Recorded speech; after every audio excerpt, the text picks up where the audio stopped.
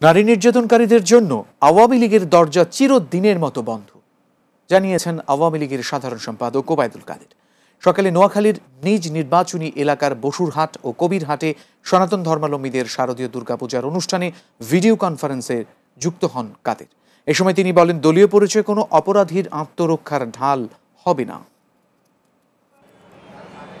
আমি পরিষ্কার বলে দিতে চাই, ধর্ষণ নারী নির্যাতনের সঙ্গে আমার এলাকার যদি আমার পার্টির পরিচয়ে কেউ জড়িত হয়, তার জন্য আওয়ামী লীগ থেকে তাকে শুধু বের করা হবে না, আওয়ামী লীগের দরজা চিরতরে বন্ধ হয়ে যাবে।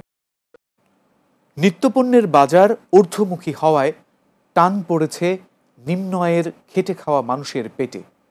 রাস্তার পাশে সস্তায় ডাল, ভাত আর ভর্তার খাবারে ছিল যাদের একমাত্র অবলম্বন, সেই একই খাবার খেতে গুনতে হচ্ছে দ্বিগুণ টাকা। খরচের হিসাব মেলাতে অনেকেই আগের তুলনায় খাওয়া দাওয়া কমিয়ে দিয়েছেন। আর এতে করে ফুটপাতের খাবার, হোটেল ব্যবসায়ীদের আয় নেমে এসেছে অর্ধেকে। বিস্তারিত বুলবুল আহমেদের আরও একটি প্রতিবেদনে।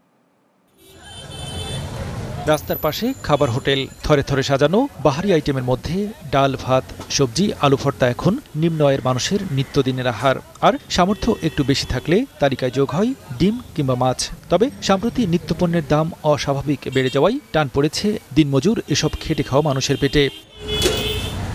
আগে যেখানে ডাল ভাত সবজি আলু ভর্তা কিংবা মাছ দিয়ে একবেলা খাবার খরচ পঁচিশ থেকে চল্লিশ টাকায় সীমাবদ্ধ থাকতো সেখানে এখন একই ধরনের খাবার খেতে গুনতে হচ্ছে দ্বিগুণ অর্থ। ডাবলেরও বেশি মনে করেন একটা ডি একটা মাছ আগে খাইতাম তিরিশ টাকা এখন এটা খাইতে পঞ্চাশ টাকা দিয়ে। বত্তা খাবার লাগে বিশ টাকা। আগে একবেলা কাম করছি পাঁচশো। এখন সকাল নটার থেকে শুরু করে রাতে বারোটা পর্যন্ত পাঁচশো হয় না।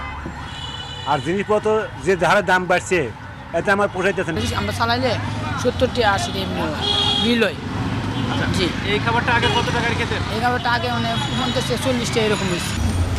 নিত্যপণ্যের বাজার বেশ কিছুদিন ধরে ঊর্ধ্বমুখী থাকা এবং খাবার বিক্রি কমে যাওয়ায় লাভ ক্ষতির হিসাব মেলাতে রীতিমতো হিমশিম খেতে হচ্ছে রাস্তার পাশের হোটেল ব্যবসায়ীদের।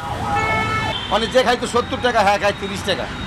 এক প্লেট ভাত লয় একটা ডিম লয় খায় জায়গা বিশ টাকা তিরিশ টাকা খায় আর বেশি খায় না কেউ না শক্ত পানি। মাছ ওই যেমনের মাছ এমনি খায়। মাছ নেয়ও না কেউ খায়ও না। আগে আলু আনতাম দৈনিক পঞ্চাশ কেজি করে এখন আলু আনি পঁচিশ কেজি করে অর্ধেক কম। তারপর পেঁয়াজের দাম বেশি পেঁয়াজ আনতাম আগে পনেরো কেজি এখন পেঁয়াজ আনি পাঁচ কেজি। ওখানে আমাদের খুব কষ্ট হয়ে যেতেছে আমাদের বেতন আগে সাড়ে চারশো বেতন আমাদের দুইশো আড়াইশো তিনশো। এর উপরে দেয় না এখন দেড়শো দুশো টাকা কম দেয়।